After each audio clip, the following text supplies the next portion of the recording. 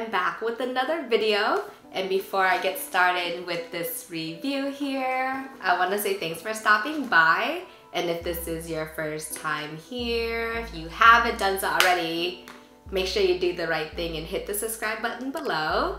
And if you enjoyed the video then, give your girl a thumbs up. Alright, so let's get it. I have this box here. There's a lot going on with the design of it, but I'm just gonna run right through it. So on both my right and my left side, there's some silver foil text. And it starts back here, it says Patta got love for all on my right, and it wraps downward. And then similarly on my left, it says get familiar.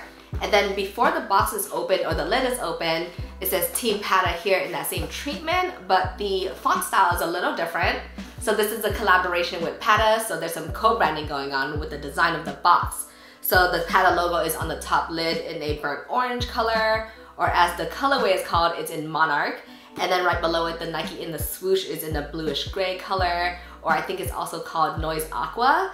And then on the shoulder end here, there's a text as well as a palm tree or a coconut tree. I don't know the difference between the two.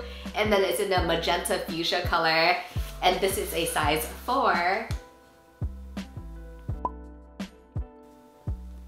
Which is my size. So let's take a look inside.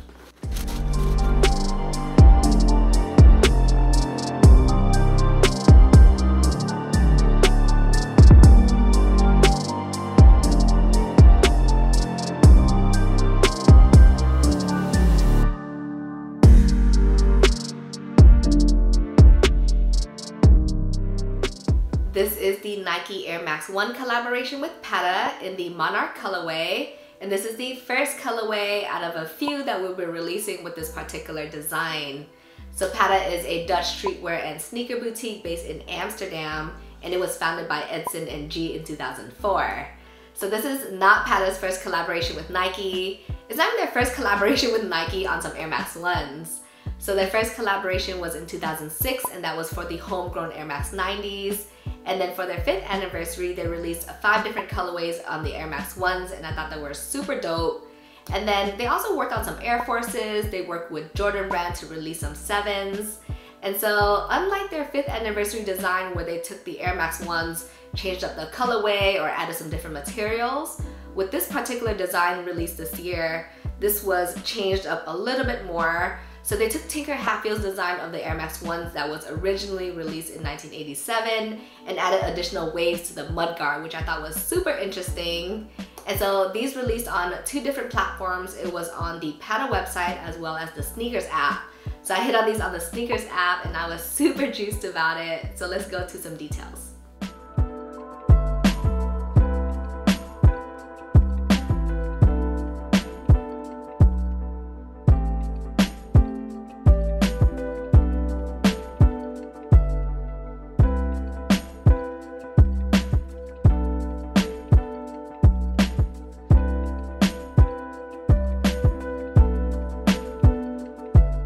For the upper of the shoe, the most standout feature is the wavy mudguard as I mentioned earlier, just because it's something really different from the silhouette of the Air Max 1s, and it's in the Monarch color, which is like a burnt orange. I think it was inspired by Monarch butterflies, and the same color and materials can be found on the swooshes on both the lateral as well as medial side, same thing with the heel overlay. On the lateral side of the mudguard, there is a mini swoosh embroidered on in that metallic silver color, which I thought was super cute. For the panels behind the swooshes as well as the top part of the heel, it's made out of a really soft suede in a pure platinum color, which is like a silvery white tint. For the base on these Air Max 1s is made out of mesh in a metallic silver color, so that can be found at the toe as well as the collar. On the back of the heel, Nike Air with the swoosh is embroidered on the white suede in that monarch color. So let's take a look at the right shoe.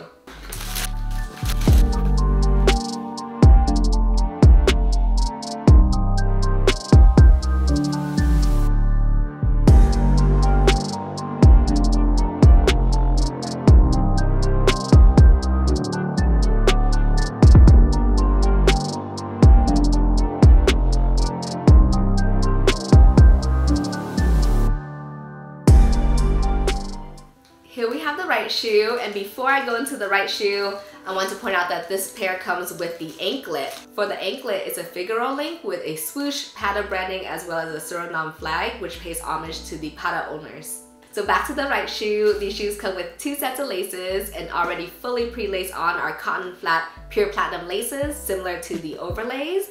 And the alternate set is in a cream color, so you have options. So if you want to switch it up and swap them out, you can. I'm gonna do a lace swap from my on feet look, so make sure you stay tuned for that. For the tongue on these shoes is made out of a cream colored suede. And then for the tongue tag, a white patch is stitched on and there's a Patta logo and it says Air Max right underneath it. So there's some co-branding there for you.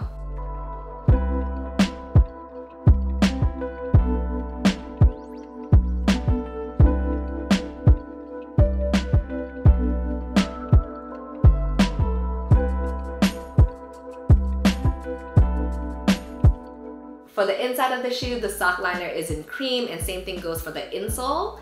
And then stamped on the insole is the Patta logo in the monarch color.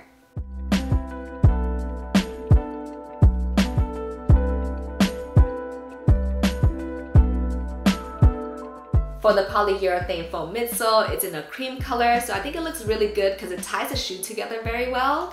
And at the heel, there is a window cutout to expose the air bubble unit. And the air chambers are in a deep Bordeaux burgundy color. For the outsole of the shoes, this is the classic waffle outsole silhouette for the Air Max 1s and it's tri-colored. So there's some tan, monarch, as well as that deep burgundy Bordeaux color that's the same as the chambers of the air bubble.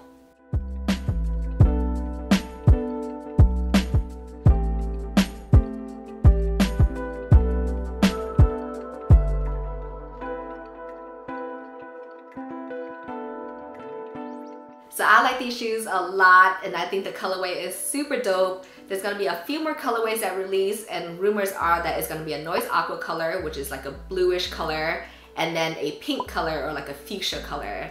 So if you ever get your hands on these or you're feeding them, make sure you go to the size and hang tight because I'm gonna show you all what they look like on feet with a lace swap. Perfect, perfect, perfect.